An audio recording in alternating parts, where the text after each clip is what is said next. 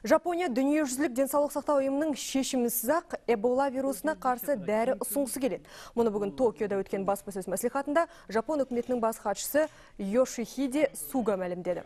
Оның сөзіне қарағанда жаңа препарат Т705 деп аталады. Айта кетсек, эбола безгегінен Батыс Африкада мыңнан астам адам қайтыс болды. Сонымен қатар бұл вирус әлемге тарауы мүмкін деген қауіп әлі сейілмей тұр.